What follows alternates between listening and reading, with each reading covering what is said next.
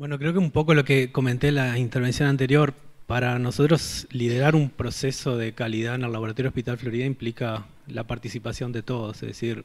solo se puede llevar adelante el proceso con el involucramiento y, el compromiso de todas las personas. Em, creo que el, ir alcanzando objetivos, el ir viendo cómo eh, tiene una cantidad de beneficios trabajar bien, trabajar con sistemas de gestión, trabajar ordenado. Los propios sistemas de gestión son el,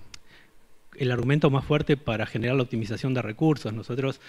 eh, en, el laboratorio en salud pública también, este, como en todos este ente público, trabajamos con recursos limitados, pero es el sistema de gestión que ayuda a que esa optimización se pueda hacer de la mejor manera y, este, y, el, y el liderazgo solo se puede ejercer si se logra alinear a todos los que integran la organización en el mismo objetivo y comprometerlos y sobre todo que todos este, estemos convencidos de que lo que estamos haciendo es por el bien del usuario en primer lugar y, este, y para el crecimiento personal de cada uno de los que la integramos.